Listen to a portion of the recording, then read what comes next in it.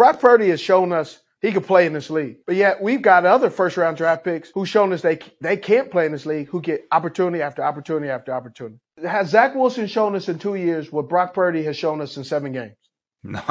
The last pick. How did that happen? You know how it happened? Scouts are scared. He's not the right height. He's not the right size. He's not at the right school. He's a third round pick, but you got a tall kid who can't hit the wall of a barn.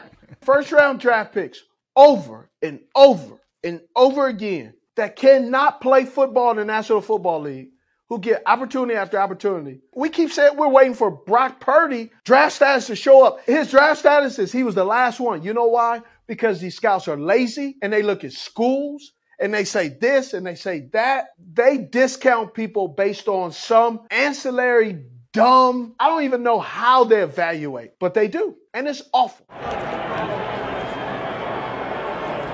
Here we go.